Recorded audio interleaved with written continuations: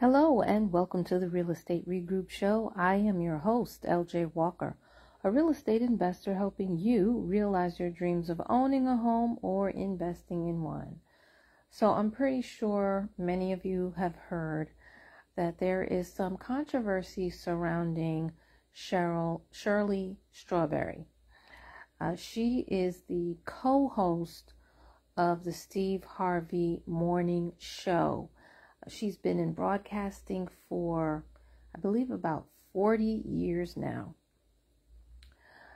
Um, the controversy actually is more surrounding her husband, who she's been married to for the past nine years. He's been brought up on a number of different charges, some of them uh, sexual. One of them is a con, where he promised people that he would be their life coach, help them with their credit, and social media. I want to just pause right there for a minute. Whenever someone is offering you so many different areas in which they can help you grow, that's actually a red flag.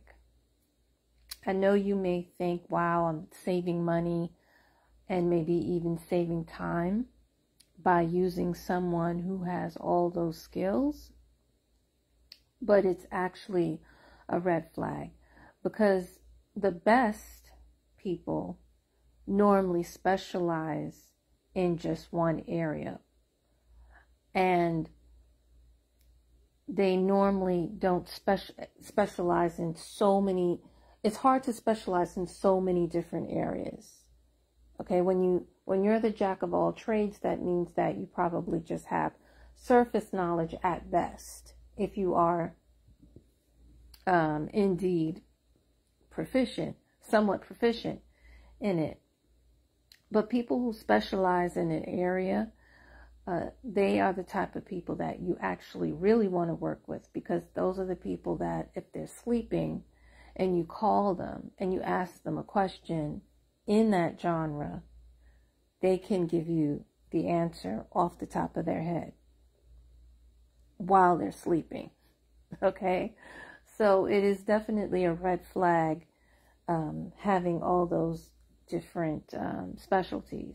But I'm going to say alleged because I don't believe he got convicted or found guilty as of yet. He's being charged with conning several people, and I believe one person put up their house, which is one of the reasons why I'm reporting this. And then the other reason, one of the other uh, charges was rental fraud. And basically, what that is, is that from August to, I'm sorry, April to August, I think it was last year or so, where they wrote a lot of bad checks. So, um, because the checks were bad, they bounced and it was never corrected, allegedly, right? Uh, at this particular time, what I've heard is they've taken away his passport as a matter of fact, if you wanted to, you can go on YouTube and Google it because the uh, pre-trial, if you will, is actually there for you to watch.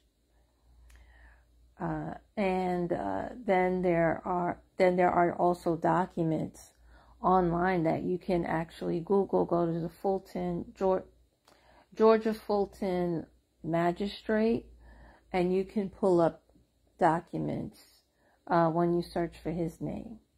And by the way, that is also a great tool for you if you are going to be doing business in Georgia and you want to just do a little quick and dirty background check on someone.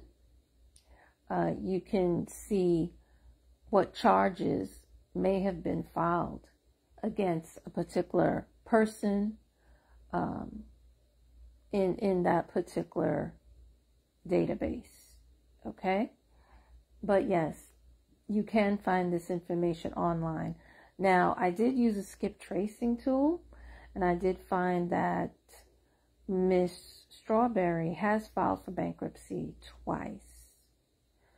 I'm not really sure or clear as to why, since, um, as mentioned before, she has been in broadcasting for over 40 years.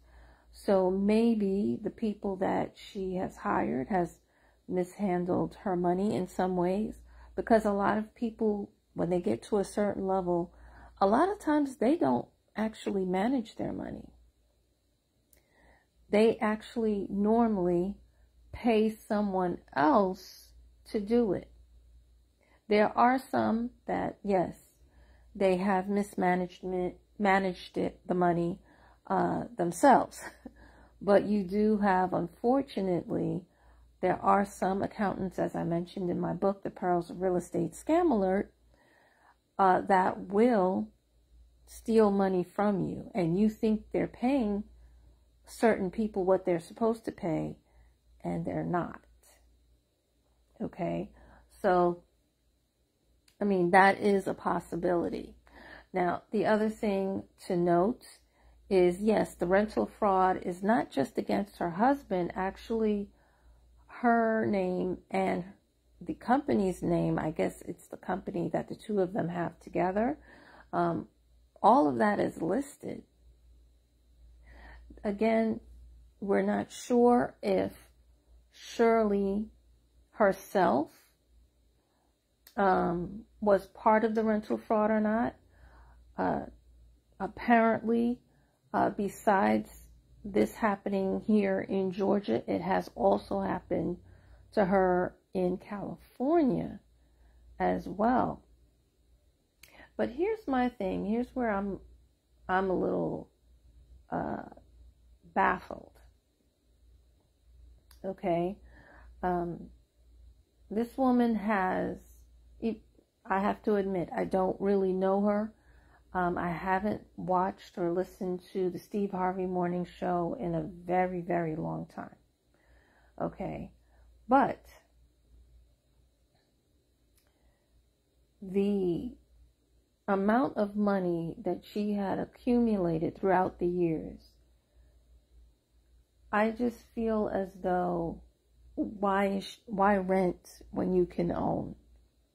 That that you know, I can understand a person who is of meager or humble means wanting to rent, but someone at her level, I don't really understand that, especially since, uh, yes, she has that home in California, but she's been in Georgia for a number of years you, you might as well just own home, you know, especially after nine, ten years, you might as well just own it. You know what I'm saying? So that's where things are a little bit puzzling to me. Now, what I have heard is uh, she still has the home in California. When I looked it up, she also has another home in California as well. Still has those. Her name is on it. Now, she did on one of the homes put her current husband's name on it, but after these charges and allegations came up, she has removed them, removed his name off of the property. So I want to just pause for a moment and just say to you this. Uh, these properties, uh, just to backtrack a little, she bought the properties in California before she got married. Now, pause. okay. To all my women out there, and also you men as well. When you get married, you do not have to put your spouse's name on the property. As a matter of fact, I was told not to by several people. I was advised when I first moved to put my mother's name on the property and that that would protect me. Of course, that was the women in the church. They were the ones that said, no, listen, put your mother's name on the house because in case you fall in love and you meet a man you don't want, if you guys break up, for him to come after the house. If her name is on the house, it will make it a little bit more difficult for him to take it away because the house that I own uh, that they're referring to was a multi-family home, right?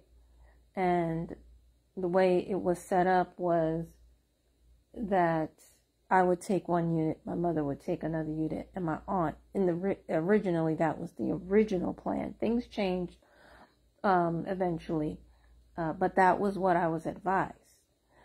And also later on, when I did meet somebody that I was interested in, my attorney told me not to put his name on the house. He said uh, that in the prenuptial agreement that I can have, I can say whatever was mine, whatever I bought before we got married, stays mine even after, during and after the marriage.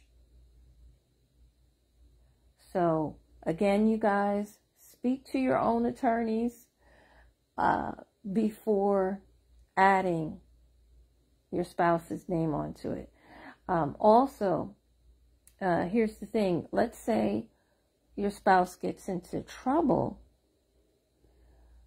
Uh, a lot of times with lawsuits, and I'm pretty familiar with them because I just went through one and I'm about to go through another.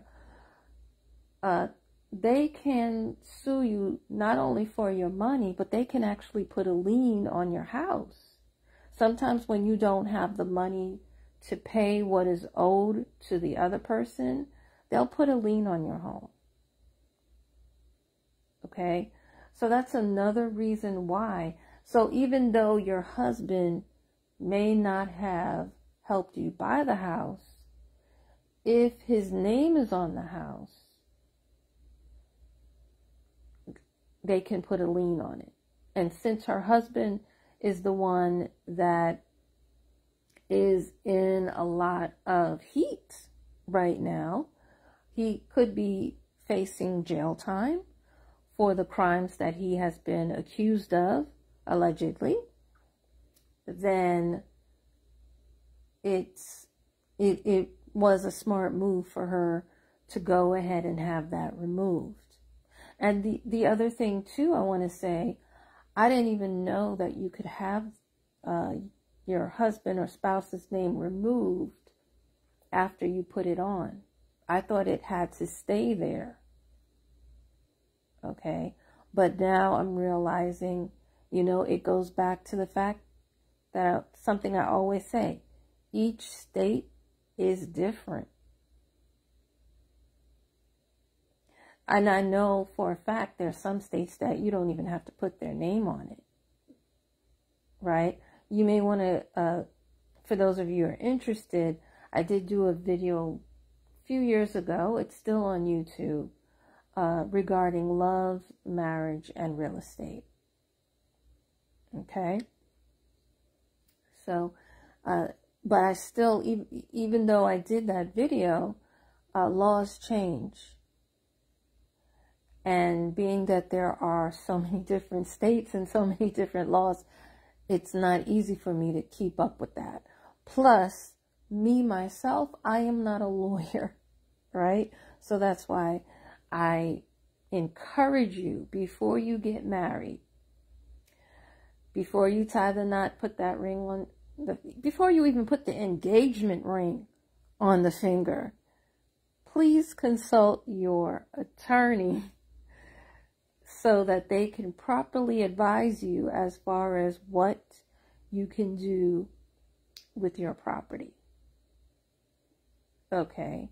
There's a lot, like I said, there's a lot more into this case, but I really don't want to deal with the other aspects of it because it's really more gossipy and this is a real estate channel. Uh, so the other charges are not real estate related. So that's why I'm not going to go into it too much. Now, uh, the other thing that I do want to address is this. A lot of people online who have reported this, they say they're saying things like, oh, she must have known or she must be privy to what's going on and what he's done because he has had a history. He has been convicted in the past for several other crimes. And it looked like for a while there, he was going on the straight and narrow because he does own a 24 hour barbershop. And so far, that seems to be legit. And he also owns a security firm. That also seems to be legit. But here's what a lot of people forget. A wife is not really supposed to testify against her husband in this country. Okay? So, uh, it is possible that she knows more than what she's letting on. Uh, she has written a letter. Uh, it was documented also where, but I think, I think she mm-hmm. may have retracted that letter. But anyway, uh, she did write a letter saying that she would like for her husband to come back home. And it sounded as though she believes that he is innocent. Um, I'm not judge or jury, so I cannot tell if she knew. It is possible, to be quite honest with you, for a person not to know everything that their spouse is doing in their business. I personally don't share everything. And I know that the person that I'm with, he doesn't share everything either. The reason, one of the major reasons is because we're in two different fields. And there are times, um, particularly in the past, where both of us have shared certain things in relation to our fields, but neither one of us really understood 100%. So, because of this, we limit talking about our business. I've also been in previous relationships where the person said that they didn't want me to bring the job home with me. Uh, they did not want to hear about what happened on my job. Right? So that's why, you know, you can't say, do I believe, I believe she know, I believe she knows something, but I don't believe she knows every single thing. I really don't. I don't, I don't believe she know, knew every single thing that he was doing. And I believe that when everything goes to court, I think she's going to learn a little bit more of what actually happened and what actually went down uh, behind her back, behind closed doors, she may not be aware of. I believe, uh, being that she's part of the entertainment industry, travel is something that they tend to do they don't always stay in one place for a very long time.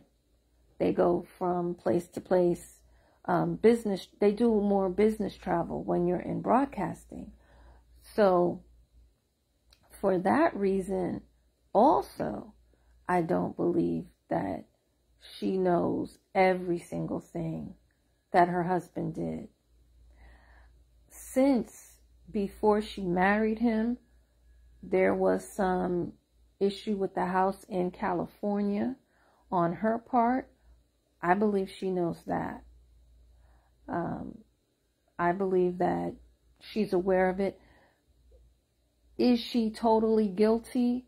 Again, she may have had an accountant or a money manager or whoever that may have failed to uh, handle her money properly, uh, that's also uh, a possibility.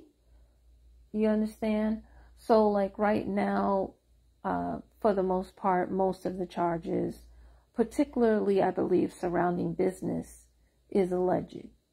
The other charges, I believe, um, uh, I, I I don't remember if it if it's convicted. I'm trying I'm trying to use the right words because I do not want to be sued uh, myself for you know misquoting or mis you know due to a misunderstanding or what have you. So for the for the most part, I'm going to say alleged. And you know what else too come to mind? It may be best even once someone is convicted of something to still say alleged because I know personally more and this has happened more than once where a person was convicted for a crime that they did not commit. You understand? So for that for that reason alone, I'm going to lean more and say alleged. Even if and in this particular case, there have been at least 12 people who have stated that they've been ripped off, and including Charleston Wright, White, said that he was ripped off by Shirley Strawberry's husband. Even though that has come out, I still, I'm still going to say alleged just to be on the safe side. Okay, guys? So, that's my two cents of how I feel about the whole Shirley Strawberry situation. Feel free, um, if you're listening to me on the podcast, come over to the YouTube channel. I am the Real Estate Regroup Show over there as well and let us know how you feel. What do you think about this whole situation and what we can learn from it? Even though it hasn't gone through the courts yet, I still think that, like I said, I myself learned something new. And hopefully, um, maybe you did too. And maybe you want to follow the case uh, just for you know, your own knowledge and your own benefit, not necessarily to gossip. And then also to my fellow Christians out there, I really believe that we should pray about this whole situation because it's not pretty. The cases and, and, and other incidents that I left out that say that her daughter and her grandchildren were also victims of this particular individual. Uh, and the other cases that were non business related but of the sexual nature, I really feel as though we need to pray for Shirley Strawberry. Because um, this really is not a laughing matter. And then, lastly, the other point that I want to bring up is this. Some uh, many people, of course, have said, "Well, how is it that she's giving relationship advice when her relationship seems to be rocky?" Well, here's the thing. I did do another video about who are you listening to? And this is why you got to be careful who you lend your ear. People will say things that will tickle your ear. People will speak properly. That doesn't mean that they necessarily know what they're talking about. You got to look at their past experience. Uh, you got to know the, in a way, you kind of have to know the person. Um, also, when it comes to giving relationship advice, I know I'm spearheading off of real estate for a minute, even though real estate is a relationship business, believe it or not. Here's the thing with relationship advice everybody is different. Not all are the same. And the problem that I see is that so many people feel as though there's it's a cookie cutter solution to solve everyone's problem, right? That's not how relationships work. Relationships are not like math. Math is black and white. It's right and exact. Relationships, when you're dealing with people, no, it's not that cookie cutter. It's not that clean cut. What works for you doesn't work for someone else.